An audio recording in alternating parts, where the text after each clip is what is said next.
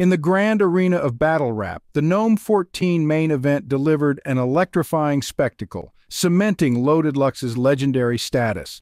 Lux's performance was impeccable, with not a single filler bar in his three rounds. The sheer quality and consistency of his verses were nothing short of extraordinary. In stark contrast, Rum Nitty's reliance on exaggerated performance and cartoonish bars fell short. While Nitty's energy was undeniable, his approach lacked the depth and substance that Lux brought to the table.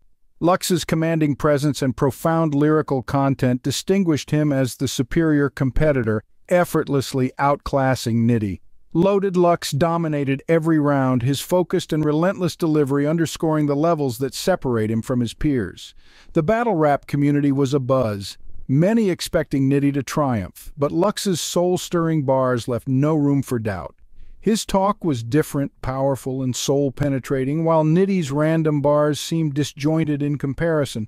Lux's line, every killer you think is next to me is not adjacent, adjacent, epitomized his sophisticated wordplay and strategic genius.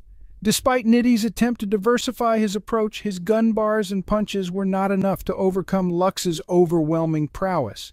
As a result, Nitty found himself metaphorically sent back to the drawing board, unable to match Lux's intellectual and lyrical might.